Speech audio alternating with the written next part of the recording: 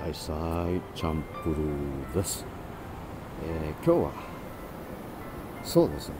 今のところ曇ってますね。久々にオーシャンビーチに来ました。サーフィンをちょっと映せないかなとかって思って来てみました。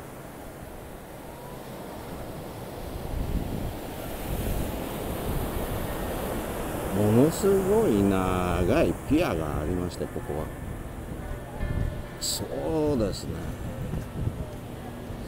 1キロぐらいはないかな。わからないんですが結構長いピアですね。で反対側でもねサーフィンをしてる人たちがいらっしゃいますね。お。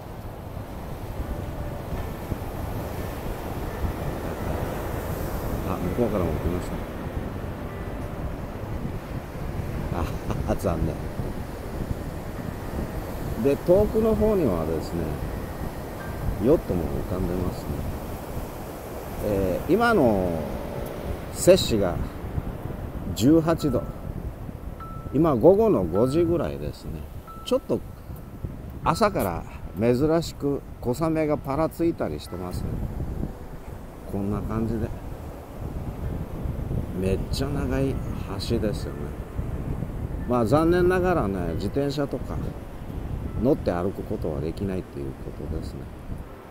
ということで私も乗って歩くことはできないんです。360度これから魚釣りをねしに行かれる人たちとか海を眺める人散歩をされる方とかいらっしゃいますね。なんとなくいい感じですよね。まあいつもね左側の方はここここサイドの方はサーファーの方がまあ全体的に少なくてまあ地形とか波の関係かもしれないですけど反対側の右側は結構ねサーファーの方がいっぱいいらっしゃるって感じですね。こんな感じで。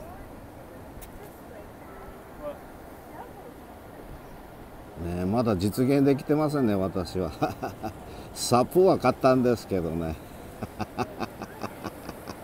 ままだまだ。ねサーフボードも買いに行ったんですけどまあ安いやつが見つからなくて。もうなんかコストコの方にもうなんか売り切れみたいな感じですよね。まあこんな感じでね。サーフィンを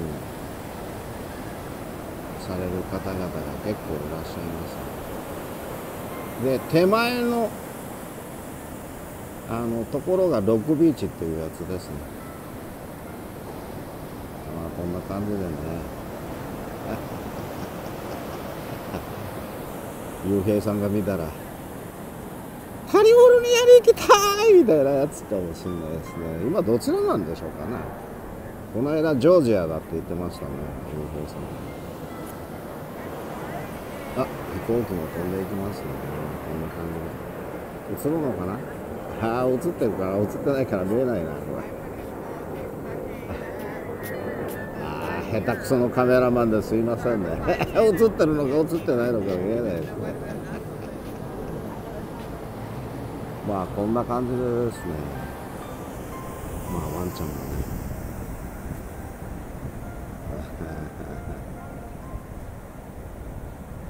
ワンちゃんも散歩散歩っていう形ですね。おおおお。あ